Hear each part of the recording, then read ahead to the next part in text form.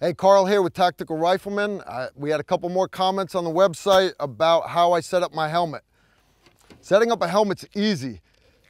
Don't set it up, all right? Don't put all the extra gee-whiz gadgets on it. All you're doing is uh, you're looking like a gear queer and you really don't need this stuff. You really don't. Keep it simple. But for setting up your helmet uh, for proper use, um, first for comfort, right? Uh, most of your good helmets, even this old MICH helmet, they come with uh, removable pads on the inside, foam pads. Um, you'll notice I have them uh, pulled out on the sides, and that's because I wear over-the-ear uh, Peltor headsets. Those foam pads Velcro right out, you leave them out, so when you're wearing your headsets, that way it's not giving you that uh, headache. If you put on your helmet, you're wearing it for a couple hours, and uh, you're getting a headache from it, now you don't have it sized right. Get the correct size helmet, set it up so that it's comfortable. Chin strap, uh, needs to be set up so that it sits, doesn't pull at your head, right? Um, that's, that's the biggest part of wearing a helmet. What kind of helmet to get? Again, this is an old MICH helmet. Uh, this is one of the newer helmets. This particular one's by Team Wendy. Crye, uh, Crye Precision has the airframe. Um, you know, there, there's a number of great helmets out there right now. Um, are they really better? Uh, yeah, there's been some improvements made. Uh, the the uh, the old MICH helmet was a big leaps and bound over the old Kevlar helmet that we were issuing people back in the 90s.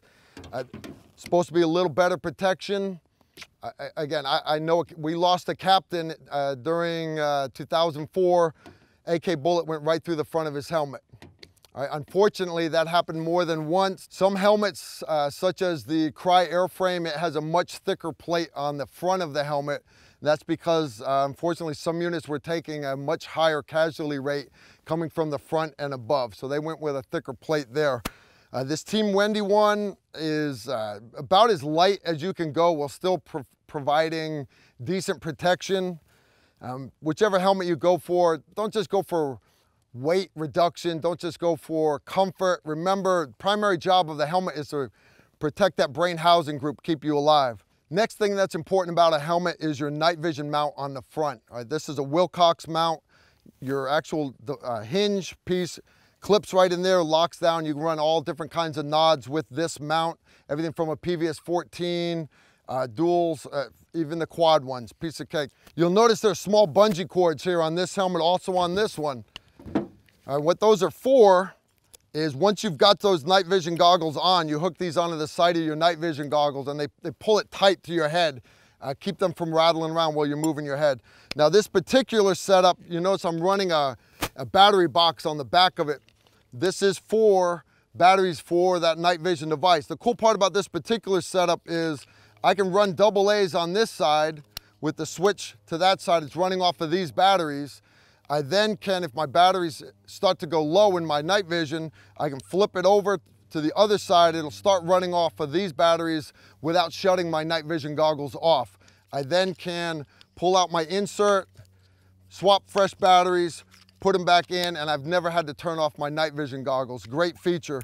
Uh, you'll notice that I also run a cell placard uh, on both these helmets. And the reason for that is, well, you've got night vision goggles on and you're in the room, it's hard for other assaulters, other operators to determine who you are with those night vision goggles on. But if you've got a cell placard on the back of your helmet, you've got them on your arms, both sides, uh, they can see, okay, that's Charlie 03, he's part of Delta Cell, blah, blah, blah, blah, blah, blah. That's the guy that, uh, I know who that is now, right? So other than that, keep your helmet simple. Um, the only other thing I've added on this particular one is I'm running an IR strobe on it. And uh, that's simply so that drones overhead, helicopters, everybody, or even on a, that HAHO jump, other people can see that strobe light and identify me. Now you notice I'm keeping the, the battery case pointed to the rear because the actual uh, IR illuminators are up front here. Also what that does is if I go into any near wire, uh, low wires or underneath anything hang, hanging down in that helicopter or you know the inside of that uh, Osprey, I don't get it hooked up and ripped off, all right?